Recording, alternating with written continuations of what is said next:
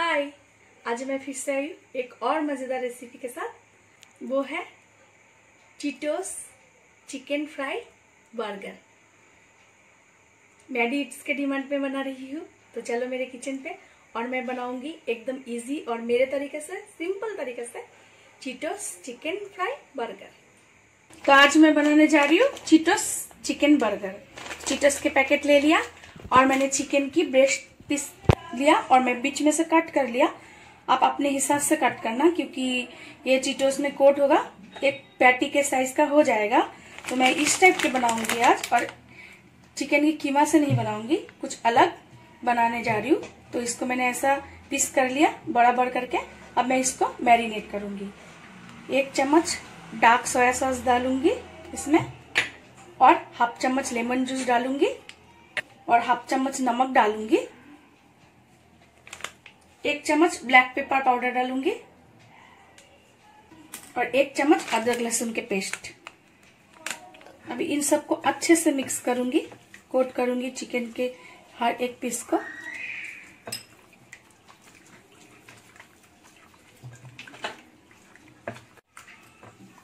तो कोट कर लिया अच्छे से। अब मैं इसको रेस्ट कराऊँगी तीस मिनट तो चिकन तीस मिनट रेस्ट हो चुका है। अब मैं चिकन को हल्का सा एक बार फ्राई कर लूँगी, ताकि चिकन पक जाए अच्छे से, अंदर से जूसी जूसी रहे। और मैं पैन में दो चम्मच बटर दे दिया मेल्ट होने के लिए। बटर मेल्ट होते ही मैं चिकन के पीसेस को इसमें छोड़ दूँगी। और दो तीन मिनट एक एक साइड को पलट पलट के फ्राई करूँगी।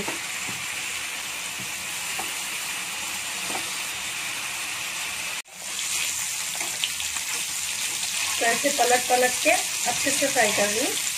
दोनों साइड को चारों तरफ़ अच्छे से फ्राई हो जाएगा।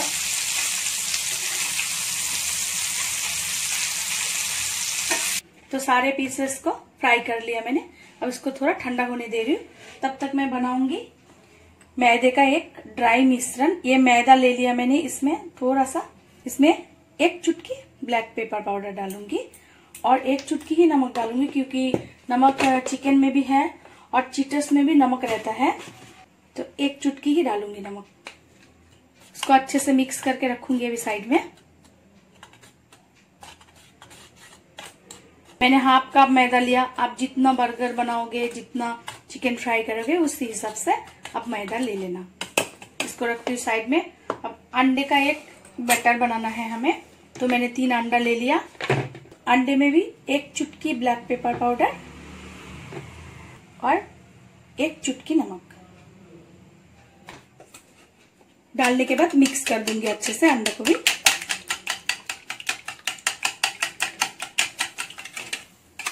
मिक्स कर लिया अंडे को भी अच्छे से। अब आ गया चिटोस की बड़ी।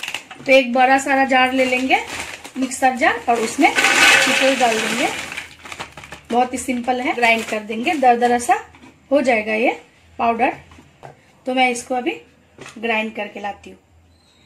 तो ये चीटोस भी ग्राइंड हो चुका है। और चीटोस में कुछ मिक्स करने की ज़रूरत नहीं है।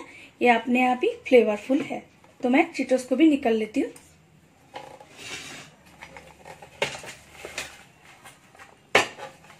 ऑयल को बिठा दिया गर्म होने के लिए।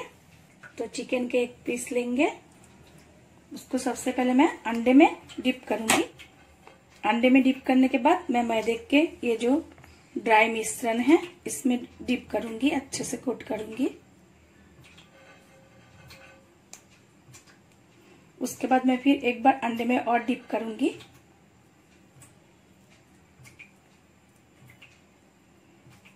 उसके बाद मैं इसको चीटोस में डिप करूँगी। चीटोस से अच्छे से कोट करूँगी। हाथ से प्रेशर दे दे के चारों तरफ़ घुमा घुमा के चीटोस से कोट करूँगी। अब मैं इसको डीप फ्राई करूँगी।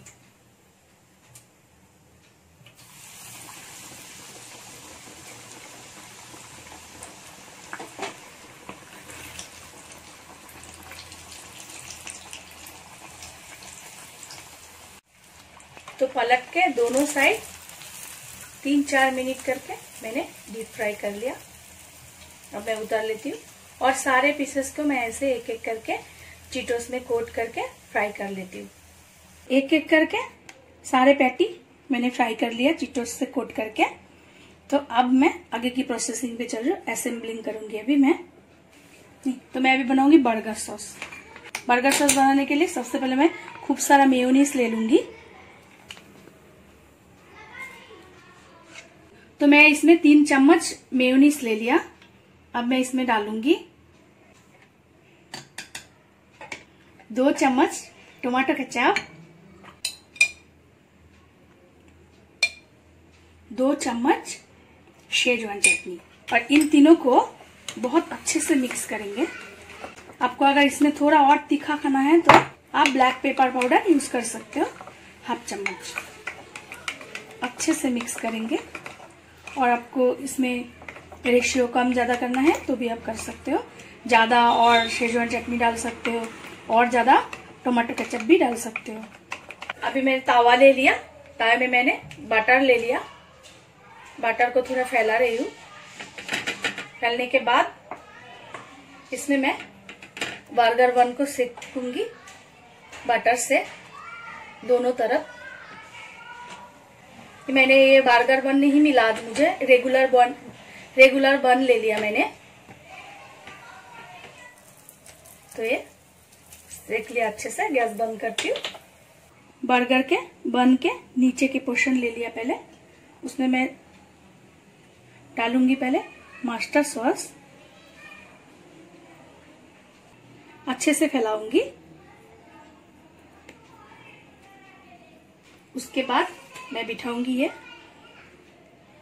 चीटोस की चिकन पैटी अब मैं बिठाऊँगी इसमें ये चीज़ ये जो बन की ऊपर की पोर्शन है, इसमें मैं डालूँगी ये। मेरा बनाया हुआ ये जो बर्गर सॉस भर भर के डालूँगी ये।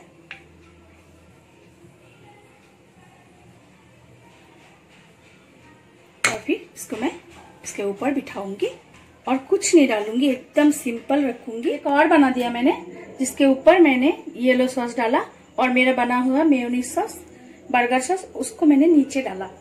आपको जैसे मर्ज़ी वैसे आप इसको असेंबल करो और खाओ बना के ऐसे ही इजी और सिंपल तरीके से मैंने बनाया। और मुझे कमेंट में ज़रूर बताना कैसा था आज का मेरा ये वीडियो और बना के खाने के बाद तो ज़रूर कमेंट करना। फिर मैं मिलती हूँ नेक्स्ट वीडियो में। तब तक के लिए Bye!